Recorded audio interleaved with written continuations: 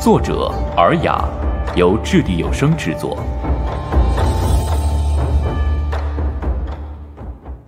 第四百零四集：浮屠之门。展昭算了算日子，难怪白玉堂说办完这案子要带他去映雪宫呢。感情他爹过生辰呢，那可是大事。白玉堂以为他娘怕他忙的忘了日子。我记着呢，办完这案子我就回去。你别一个人来，大家一起啊！陆雪儿显得很好客。庞太师和包大人对视了一眼，赵普指了指自己：“我们也去。”“是啊，是啊，一起。”娘，你是不是有什么事啊？陆雪儿站了起来，拍了拍他肩膀：“总之呢，你自己小心点然后办完了案子。”给为娘把大家都带去映雪宫，乖啊，少了一个，娘可唯你是问。说完，陆雪儿笑眯眯跟众人道别，一溜烟就跑了。众人面面相觑，最后都望向白玉堂，白玉堂也一头雾水。和展昭一起送别了来也匆匆去也匆匆的陆雪儿，白玉堂回到了军营。想不明白。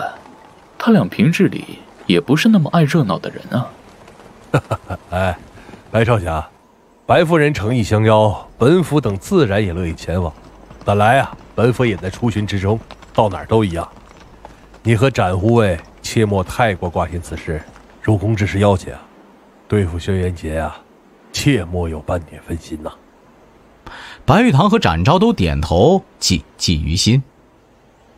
陆雪儿突然跑了这一趟，也省得白玉堂再跑去映雪宫一次。至于白夫人为何时间把握的那么好，可见赵真跟他打了招呼之后，他有一路留意儿子的动向。白玉堂多出一晚，可以在军营好好休息休息。展昭就准备各种暗器，其实展昭本身暗器用的很好，不过他嫌麻烦都不带，这次为防万一，还是带上。一夜无话，众人休息饱足之后，依旧分头行事。白夫人来那天，正好和邹良去准备粮草的林业火，听说错过了一睹大美人陆雪儿芳容的机会，气得跳脚，说邹良衰。白玉堂和展昭也懒得管闹哄哄的众人了。动身赶往北海，这次他们没去西北海郡，而是直接赶往北海皇城浮屠城。浮屠城地处北海的中部偏北，两人一路往北走，天就寒了下来，白雪飘飘。北海多是矮树，银装素裹，景致十分特别。怎么这些树都那么矮啊？可能太冷了吧，冷的矮了。哼，那你还不是一直在天山待着，也不见你矮。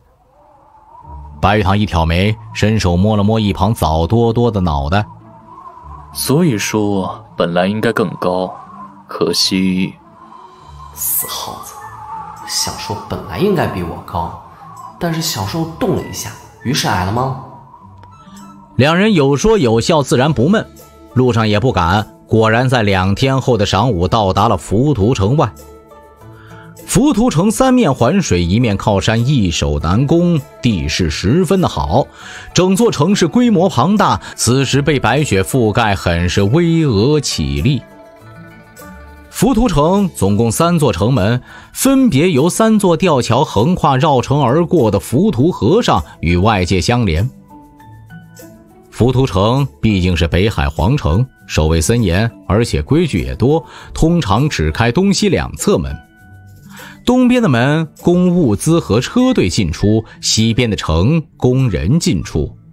正当中南北向的大门平时都关着，貌似只有轩辕杰或者有公务在身的官兵可以走，其他人一律免进。任何人进出城门都要经过严格的搜查。浮屠城内几乎没有外族，都是北海的人。不过这一点倒是对展昭和白玉堂有好处，起码不会有人认识他们。展昭和白玉堂的马到了西侧大门前，跟随长长的队伍一起等候盘查。而此时城楼之上有人看到了他们。城楼上是轩辕杰手下的两个侍卫，之前也陪同轩辕杰一起去了西北海郡认得白玉堂。见他来了，那侍卫也松了口气，赶紧禀报了奉命等候白玉堂的侍卫统领邹毅。轩辕杰为了等白玉堂，让侍卫轮流守候，一刻都不能离开，上茅房都要轮班。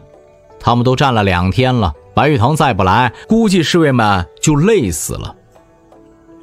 白玉堂和展昭正等着盘查，心说这是查什么呢？进个城都要查祖宗三代吗？好慢！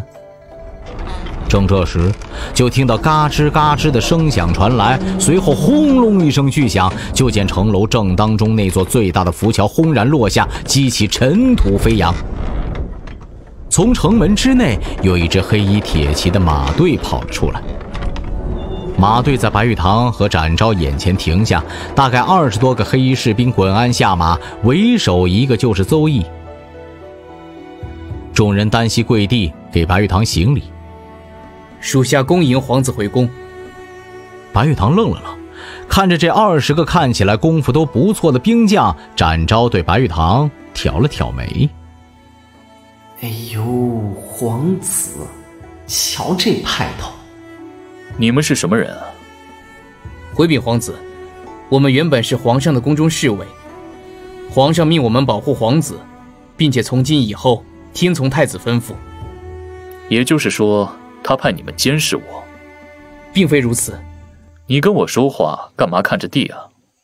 属下没有皇子的命令，不敢抬头。白玉堂嘴角抽了抽，一旁展昭也有些无奈，这规矩还不小。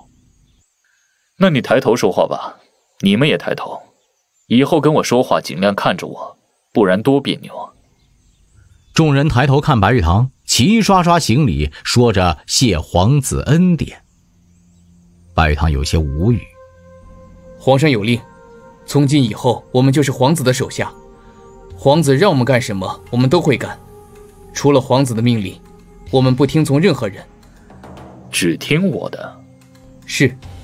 皇上说，让我们告诉您，如果他让我们往东，您让我们往西，那么我们往西。您让我们行刺他，我们要问的是用刀还是用枪，否则一律杀头。白玉堂听得挑了挑眉，展昭也暗暗称奇。轩辕杰这一招又是走的什么棋？是给白玉堂吃定心丸，让他知道自己信任他，还是逢场作戏，另有图谋？或者仅仅只是他练邪魔内功练得神志不清，都不知道自己是怎么回事儿？白玉堂见人都说到这份上了，就也不多问了。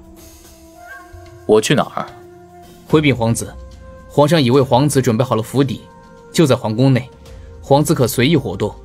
皇上有事外出，要到晚上才能回宫。那走吧。是。邹毅带着侍卫翻身上马，一起给白玉堂和展昭开道。展昭和白玉堂带着小五从正门顺利进入了浮屠城，很是气派。而此时城楼之上东侧的一座小楼里，有几个人也看到了白玉堂和展昭进城的架势。就是他，不错。我们的新皇帝长得是真不错呀，竟然派了邹毅给他做随从，那可是父皇最信任的手下。还开了正门给他进城，哎，你们谁能在父皇不在的情况下让正门落下？不过父皇好像要到晚上才能回来，所以我们趁着日落前给我们的皇帝一些惊喜吧。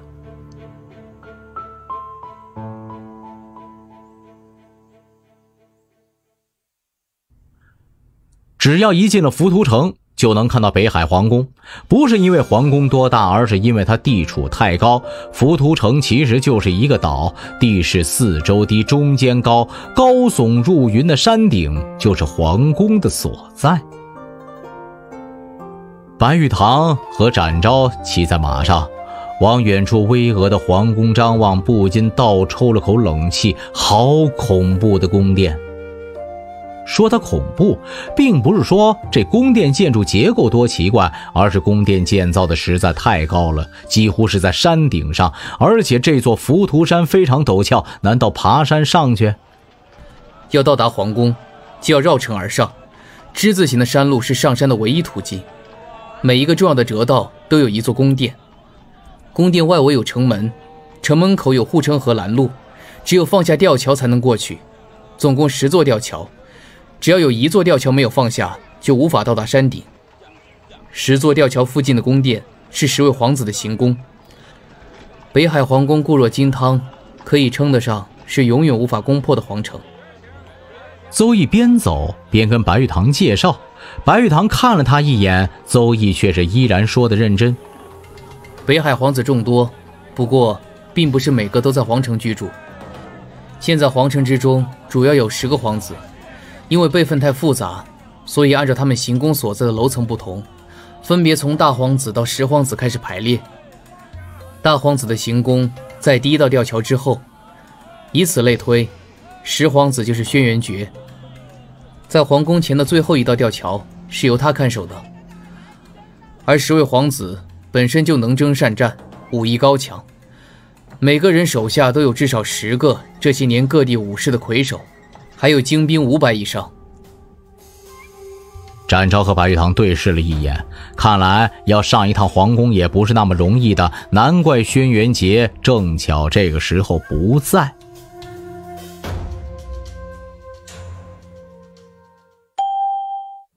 掷地有声，专注精品声音制作。